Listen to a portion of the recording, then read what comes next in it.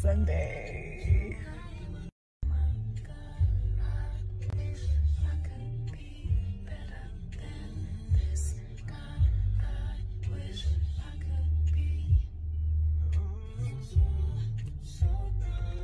Happy Sunday. Hi, everybody. Happy Sunday. I'm going to wait a few minutes before I start talking so we can have a few people join us. Hi, happy Sunday. Hi, everybody. Hi. I love you guys too. Thank you. Please don't make me cry. I'm a big crybaby right now. I'm gonna give it a few minutes so I can talk to you all. Good evening, good evening, good evening, good evening, good evening. Hi, hi, everybody. Hi, hey. Oh, hi, little Miss Nia. Oh my God. Hi, everybody. Okay, I'm not gonna do this. I'm not gonna do this. I came on just so I can talk to you guys just for a couple of minutes. Hi, everybody. Oh, Hi. Thank you. Thank you for the love. Thank you for the prayers. Hey, yo, Indigo Art. Oh my God. Hey, everybody. Hi. Bobby Gillette. Hi. Thank you, guys. The Core 94. Hi, everybody. Hi, everybody. Mama Rama, I love you. Hug the kids. Hug Stoke for me. Thank you, Dr. Maylee. Hi, hi, hello, hello, hello. I am wonderful. I am wonderful. I am alive. I am working my way back to uh, full health. I am so grateful. Um, I don't know how to explain to you all what this experience has been. Contracting COVID, the, I had the Delta variant. Um, it's the sickest I've ever been in my entire life. And God is amazing. He's amazing. Um, and I'm on, I know people were saying, "I'll just go live. I, I looked horrible. I felt horrible. And I'm not about to make excuses for that because I think that anybody with any level of understanding, if you've ever had any kind of an illness, it didn't even have to be COVID, you understand. And people people convalesce differently. I did not want to be on camera looking and feeling the way I felt.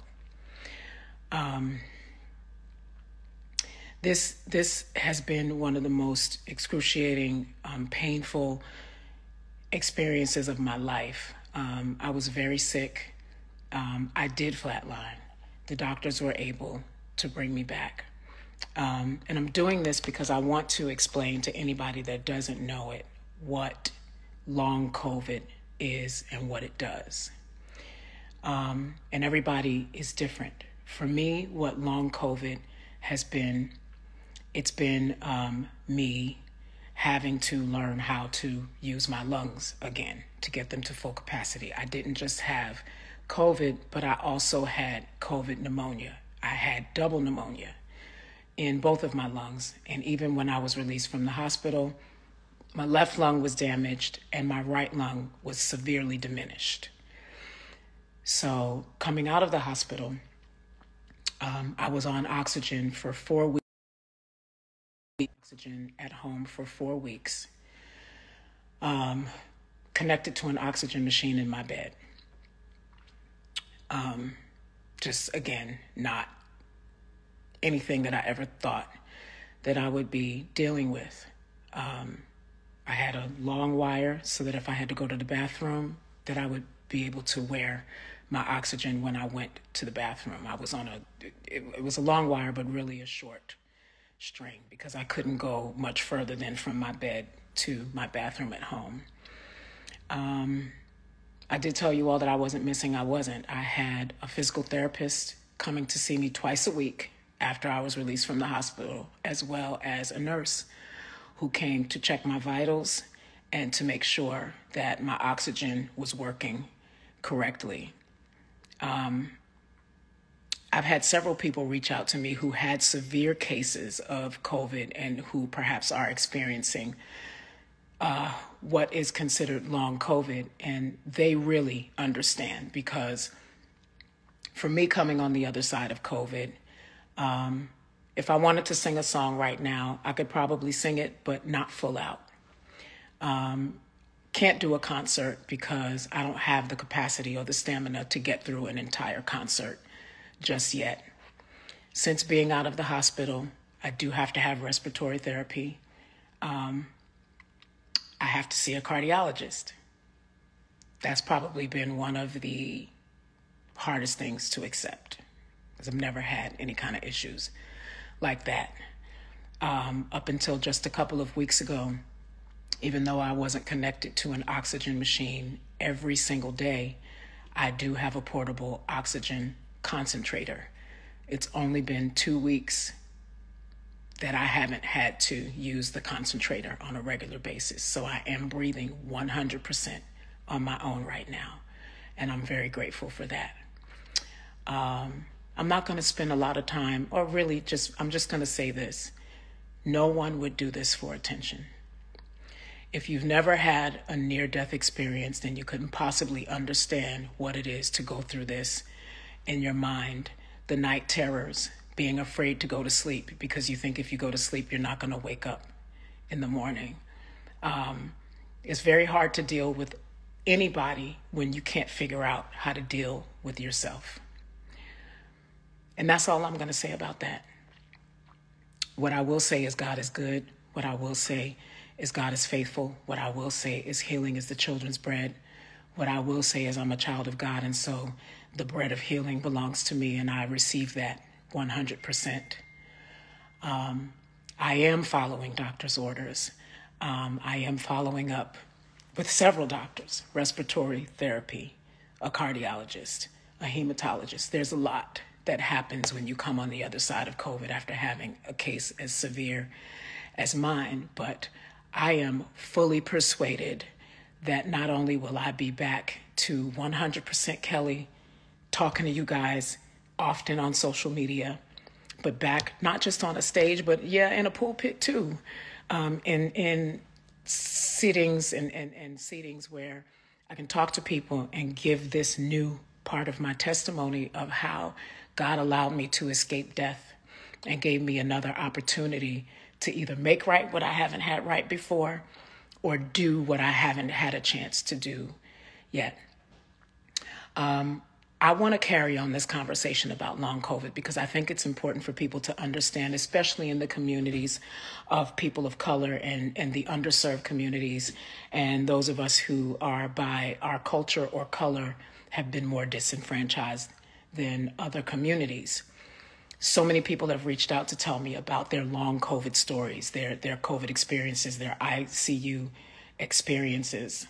And I want to talk to you um, so this really is just me going on the record of saying, if you have had this experience, if you have been caring for someone who had an extreme case of COVID, or taking care of someone who is experiencing long COVID because of their symptoms after coming out of the hospital, if you are in fact that person, I want to talk to you because I feel like we need to educate people, excuse me, on what that's like. Um, the fatigue is real. COVID fog is real. I suffered from short term memory loss. Um, um, I, I, literally have sat in one spot at points in times, and it's taken me an hour or two to figure out how to do things that I would normally do on a daily basis because I couldn't figure out how to put the pieces together to get it done.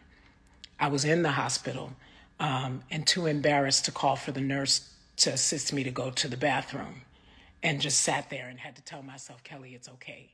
Call the nurse. That's what they're here for. God bless the nurses. Um, thank you to everybody that was a part of my team who assisted when I was in the hospital, those who came to take care of me when I was released and, and had to convalesce at home, the nurses, the physical therapists who came, the ones who helped me walk again to teach me how to hold my weight up uh, on my own legs. Um, all of that is real.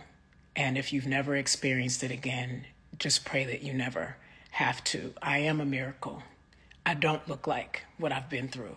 I know that the road ahead of me is intense, but there's nothing too hard for God. I am not a Bible thumper. I am not perfect, but I am a child of the King, and I do believe that if I am still here, it's because there's a work that I have to finish that I haven't done, and I believe that God spared me so that I can do it. So, my goal is to do everything it is that I need to do so that I can get better and do what I was born to do. It's bigger than a song, it's bigger than a live, it's bigger than an IG post. It's God, what did you send me here for? And that's my focus.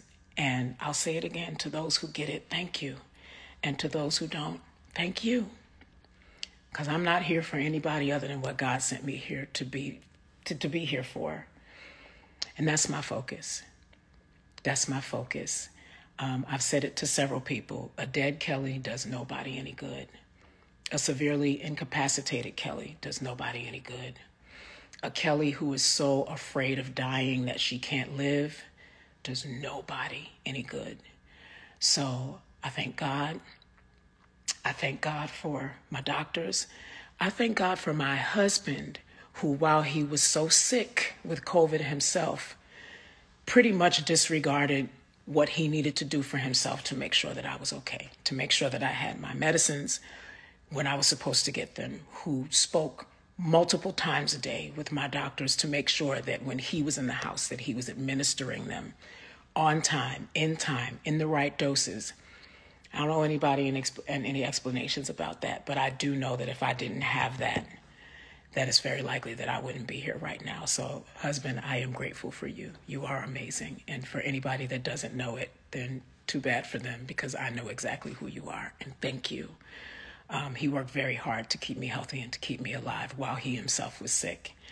And so I'm grateful for that. Um, guys, I love you. Um, please, uh, I'll say it again to anybody who has experienced uh, long COVID, whether it's you as a caretaker or you who has lived through it. I want to hear from you. Please send me a message.